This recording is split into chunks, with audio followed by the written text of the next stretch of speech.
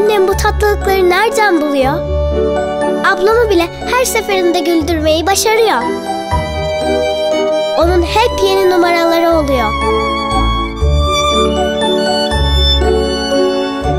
Bu yüzden en tatlısını da o hak ediyor. Herkes için her tatlılığı düşünenlere yepyeni bir Danette. Bol bol süt, daha yoğun çikolata lezzeti ve enfes kıvamıyla yeni Danette. Bir tatlılık yapsana sen de.